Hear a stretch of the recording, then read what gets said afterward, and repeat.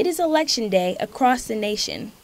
This morning, in Prince George's County, Maryland, residents are voting for a new governor. I'm here in Hyattsville, Maryland, at the Hyattsville Municipal Building, where Maryland voters are casting their vote on a new governor. Here's what voters have to say about each of the candidates.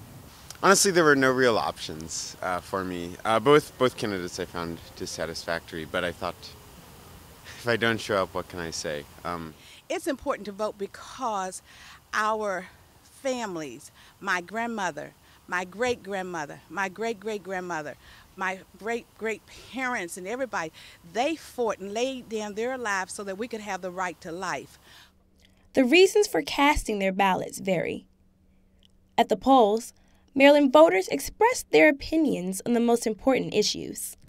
Every election is an important election. This is where we get to speak and tell our representatives what we want, whether they're doing a good job and we can rehire them, or whether they're doing a poor job and we're going to fire them.